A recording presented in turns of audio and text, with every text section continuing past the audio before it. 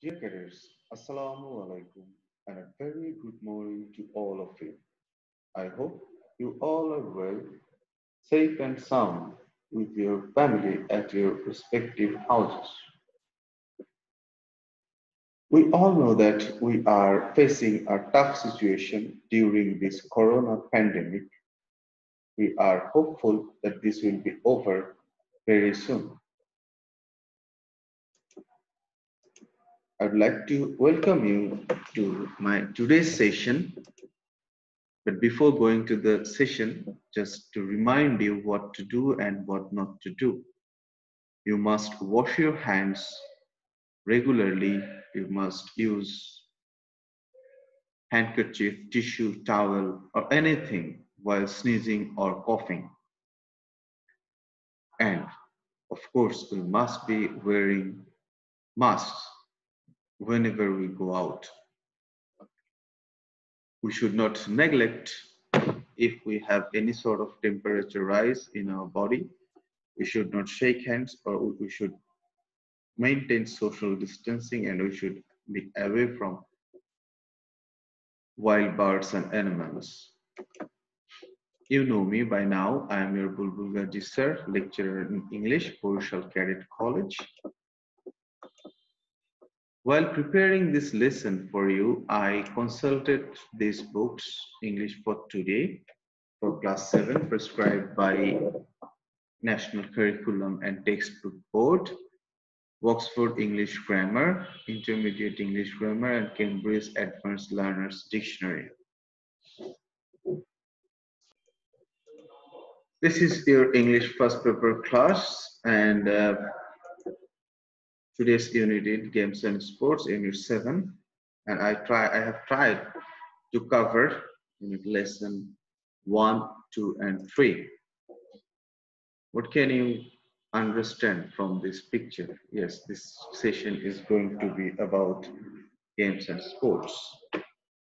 After this lesson you will be able to listen read understand and enjoy stories and other text materials ask and answer questions, write short paragraphs, informal letters, write answers to questions. Uh, before that, we're going, before moving into the main text, we're going to learn some new vocabularies. Our first vocabulary is striker, which is a noun and it's most of the time countable noun. And UK pronunciation is striker and US pronunciation is also striker. It means a player in a game such as football whose main purpose is to try to score goals rather than to prevent the opposing team from scoring. So let's have an example. The 24-year-old striker scored 35 goals for his club last season. So there's the striker. Our next word is practice, which is a verb, and UK its UK pronunciation is, you know, there is a confusion, practice or practice. This is British and US is practice with a C. The pronunciation is more or less same, practice. It means to do or play something regularly or repeatedly in order to become skilled at it. I'm good at tennis, but I need to practice my serve. She practices the violin every day. So this is all about practice. Next word is opportunity. UK, it's a noun and its UK pronunciation is opportunity. US pronunciation is also opportunity, opportunity and it can be both countable or uncountable. Its meaning an occasion or situation that makes it possible to do something that you want to do or have to do or the possibility of doing something. Let's have an example. I was never given the opportunity of going to college. Our next word is athlete. Dear cadets, I'd like you to pay attention here. This is an interesting word when you it's a singular noun, it's athlete. Okay, look at the pronunciation, athlete. Here you have E sound here in both US and American. You have the E sound, long E. So it's not athlete, it's athlete. I'm saying again, it's athlete. Okay, a person who is very good at sports or physical exercise, especially one who competes in organized events. He became a professional athlete at the age of 16. Now we're going moving into the text. Every Thursday afternoon, Ashish Biswas plays football. He is a striker. He plays for the local Friends Club. Do you want to know what else he does on other days? This is what Ashish says. Friday and Saturday are my weekends. On Friday, I go to my village home. Going home is really wonderful experience. My mother waits for me there. In the afternoon, I go cycling with my friends. Sometimes I go for a long walk. Next day, I get up a little late. In the afternoon, I play kabaddi. In fact, I was a kabaddi player during my school days. From Sunday to Thursday, I go to the club at 7 o'clock in the morning. It's time for our regular practice, so I have to get up by 6 o'clock. Usually, on Monday afternoon, the team doctor sees all the players. On Tuesday, our coach shows us videos of important matches. We learn a lot from them. On Thursday, when we practice, our team manager watches our performance and keeps a record of that. Then he selects the team for the day. In the afternoon, I go to the club at one o'clock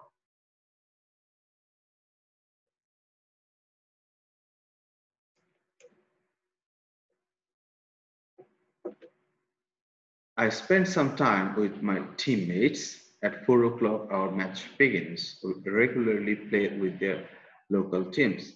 Dear cadets, I'd like you to read the passage from your textbook once again. Now we're going to talk about some expressions. He plays for the local friends club. You see, plays for the local friends club. That's why when you are playing in favor of a club, we use this expression plays for messi plays for barcelona ronaldo plays for juventus so this the expression you may try apply in your day-to-day -day life another expression in the afternoon i go cycling with my friends i go cycling so you see it's not i go to cycling or i go for cycling the simple expression is i go cycling you can use I go swimming, I go hunting, I go fishing. So this is the expression mainly I want you to focus. So in the afternoon, I go cycling with my friends. Now, usually on Monday afternoon, the team doctor sees all the players. You see, there are several points to notice. Usually on Monday afternoon.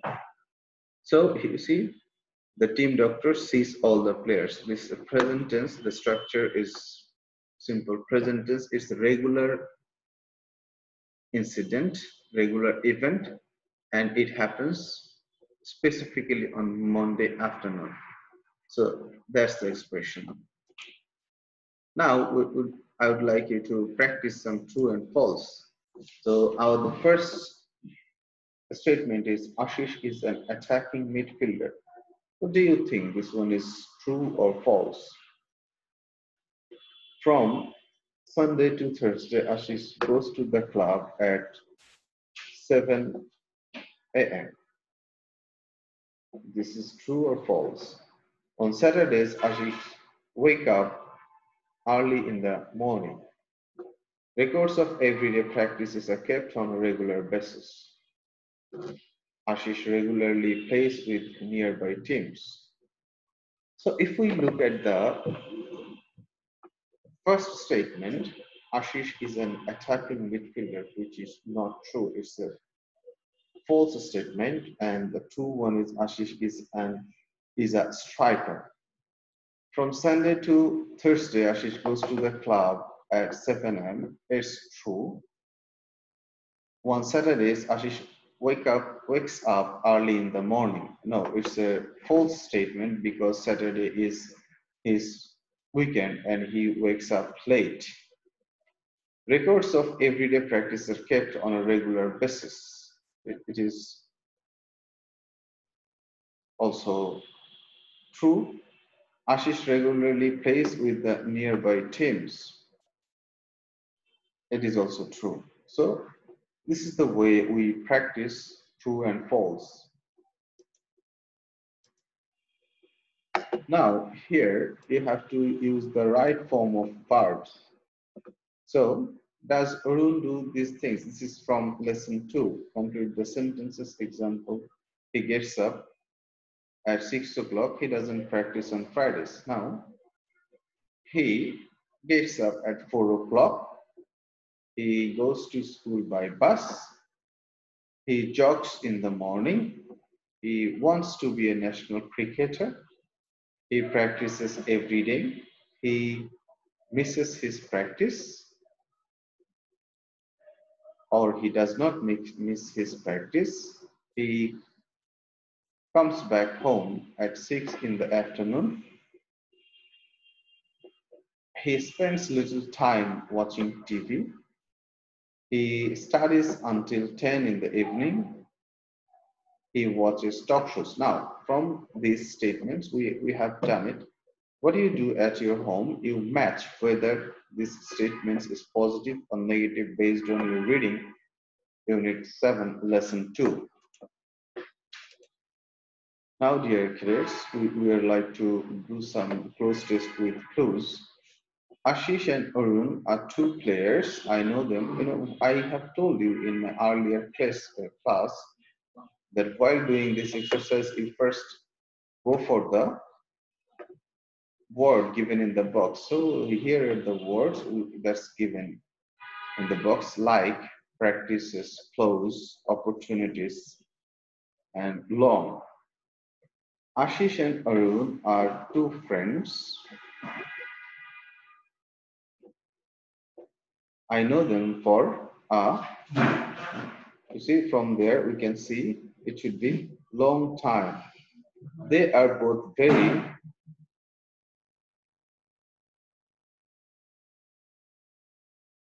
close to my family. Ashish is from a village. Arun lives in a small town. Ashish plays football. He doesn't play tennis. Arun practices cricket, but he loves athletics as well. Arun goes to a local school. He has opportunities to practice in his school compound. Arun practices in his club field. Ashish has one brother, his name is Avir, and he is a weightlifter. Arun has no brother, he has a sister. Her name is Apala. She doesn't like cricket, she is a swimmer. So that's it. This is the way you do cloze test with clues. Now, dear cadets, this is your homework at home. You see, what's your favorite sports? You may write some sentences on the basis of your knowledge, on the basis of expressions you have learned in this unit, in this session. What's your favorite team? Who is the captain? Who is your favorite player? How often do you go to the stadium? And what sports programs? Now, dear cadets, if you have any question, please call me at my number or you can uh, ask me through the comment box or Facebook or Viber if you want. Now, dear cadets, you know, the winter is coming and it is already at our door and the whole world, we are trembling, we are afraid how much damage this winter may cause to us. Because when Corona attacked us for the first time, it was not winter. So the weather was in our favor. Now the weather is quite favorable to Corona itself. So we have to be very, very cautious. We have to stay home. We have to uh, follow the norms of social distancing. We have to wash our hands regularly. Dear cadets, you know the whole world has yet to produce any effective vaccine. So the only remedy we can do for ourselves is staying home. So stay home, stay safe, and prepare for the next exam. I hope you are going to do very well in the exam. Till then, Allah Hafiz. Thank you.